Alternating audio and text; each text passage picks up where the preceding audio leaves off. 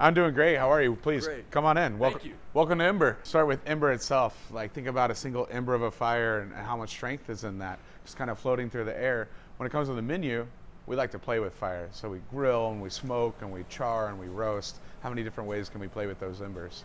And then coming into the design of the place, actually a lot of this stuff is inspired by Kansas City and, and where I came from. If we look at these Art Deco lines on the wall here, those are from trolley cars in the 20s and 30s that used to drive through the Union Station, and I was a cook at the Union Station. Pierpont's. Yeah, Pierpont's. Yeah, Pierpont's uh, really learned how to cook a good steak there. So you've got some Art Deco there as well. Yeah, yeah. You see these lines? This is directly from Union Station inspiration. Signature Kansas City style items. We, of course, have my KC style barbecue ribs. I make my own barbecue sauce in style of Kansas City. How I say is a little bit of sweet with a little bit of heat is how I how I like to say it. And this one we're going to take back to a tomahawk ribeye, but we got to go with our boy Tomahomes ribeye.